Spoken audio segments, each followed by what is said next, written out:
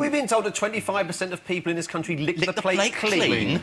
That can't be right. Certainly not in my restaurant, that's for sure.